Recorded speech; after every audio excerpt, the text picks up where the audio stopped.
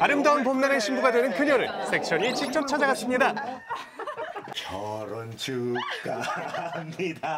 사랑하는 상진이 소영이 결혼 축하합니다.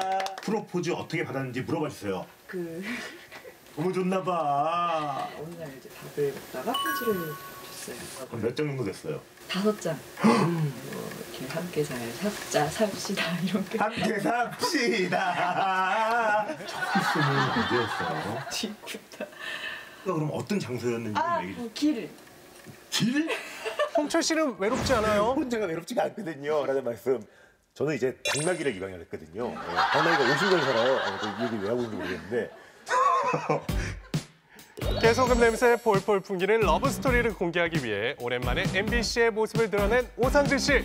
상암 신사옥은 첫 방문이시죠? 어, 우왕좌왕 헤매시는 건가요?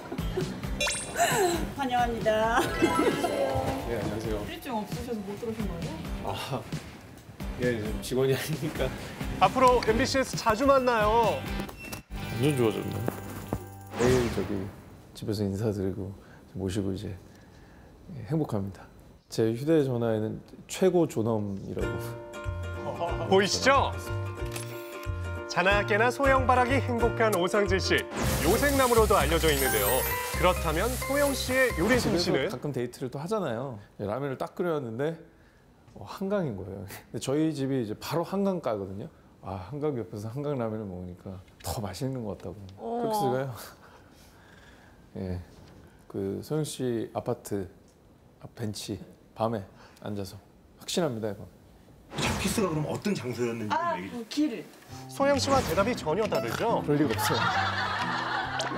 그러니까 이때 등장하는 몰래 온 손님. 뒷모습도 예쁜 오상진의 그녀 소영 씨였는데요. 그리고 예비 신랑의 말에 쫑긋 귀를 기울이다가 산소 같은 존재인 것 같아요. 이제는 아마 없으면 숨도 못쉴것 같고.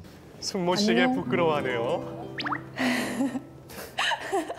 이래서 인터뷰를 오래 하셨군요. 아니요, 네, 몰라 전혀 몰랐고요. 그래서 아니 어디냐고 저한테 메시지를 보냈었는데 제가 답을 안 하고 있었어요. 아 되게 얼굴이 빨개 빨개졌어요. 예, 예, 이거 어떻게 하면 당황했어. 아니 예쁘네요, 근데 이렇게. 너무 좋아하시네요. 아, 왜 그러지? 여기서 확인할 게 있죠. 저요? 아까 혹시 다르게 말했어? 그런 것 같습니다. 진짜? 아파트 벤치에 앉아서 어? 길에서 하셨다고. 벤치였나 거기가? 여기 여기 약간 여기 립스틱이 거기가 벤치였나?